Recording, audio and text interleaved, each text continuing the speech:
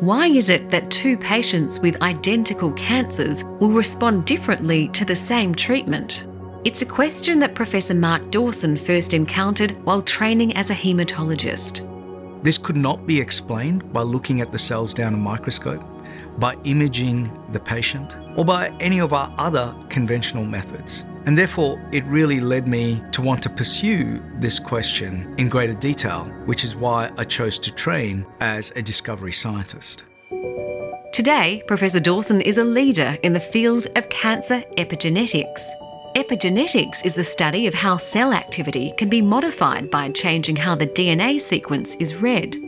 Epigenetic changes turn genes on and off. Unlike genetic mutations, they can be reversed, offering a unique opportunity for therapeutic intervention. What we have learnt over the last few years is that cancers adapt without necessarily changing their genome. Professor Dawson's team investigates how cancers rewire their ability to express genes in order to evade treatment. They're also developing new drugs which can reverse epigenetic changes by targeting the proteins involved.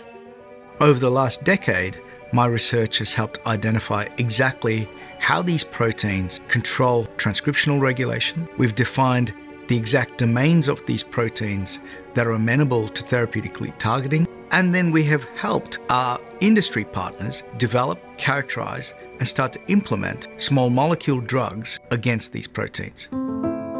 He says the epigenetic drugs themselves can't cure cancer, but by forcing cancer cells to make more predictable decisions, they can improve other therapies that kill cells, including conventional chemotherapy.